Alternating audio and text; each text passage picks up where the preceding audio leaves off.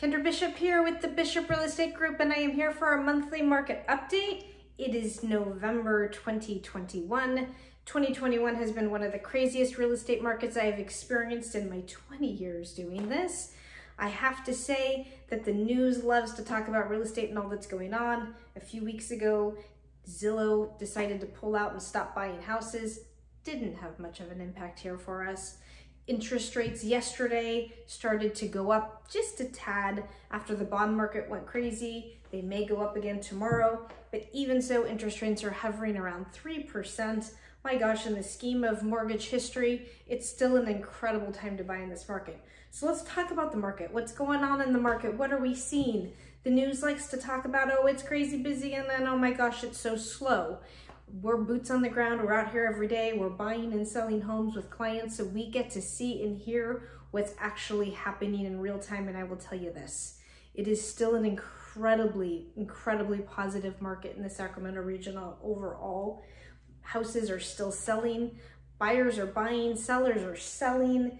Most houses we are seeing uh, listings with multiple offers. We are seeing listings going over list price. Not all, but most. Are we seeing some inventory sitting? Absolutely. Are there sellers that are trying to price their homes too high or they don't have them in sellable condition?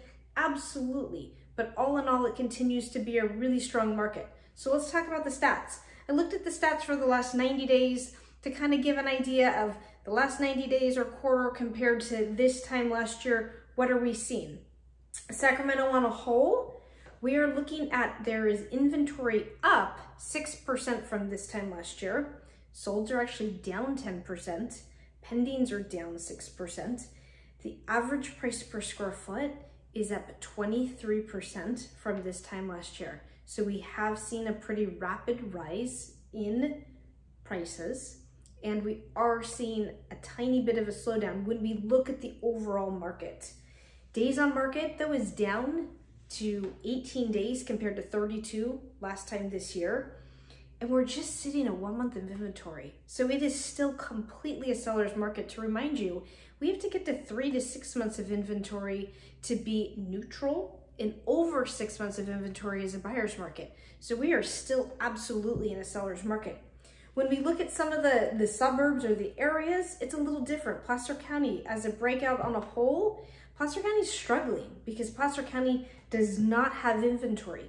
Inventory is down 10% from this time last year. So most homes that are priced appropriately in the county are getting gobbled up really, really quickly. But it's affecting the pendings and solds in Placer County just because there's not enough homes to sell.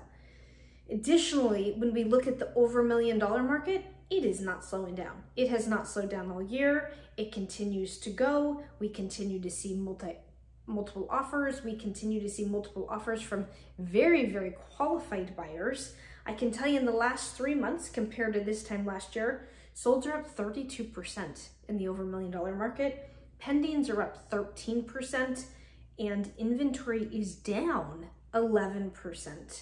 So really, it continues to be a really strong market in our marketplace. I can tell you, I get asked all the time, how is this compared to 04, 05, 06 in the run up before the crash? It is completely different.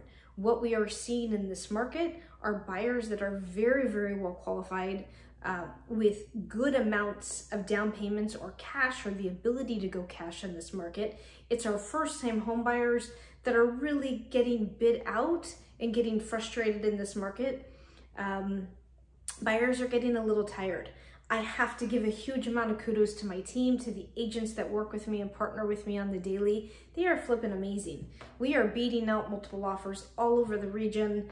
Um, we are really representing our clients. And I also love that we've had a year in which we've gotten some astronomical numbers for our sellers. Um, that's really quite life-changing feel a little bit like Santa Claus coming in and getting to tell them what we were actually able to capitalize and sell their home for. So it is an amazing time to sell. It's a great time to buy. We're coming into the holiday season.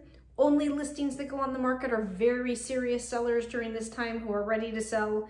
Buyers. There's only serious buyers in the marketplace. You have a lot less competition on both the seller side and the buyer side during the holiday season. So if you're willing to be inconvenienced, such a great time. And if not, January also um, tends to be pretty strong in our market. So signing off till next time, we love that we consistently get to be a resource for you. We appreciate being part of your story. Happy holidays to you and your families, and we look forward to connecting very soon.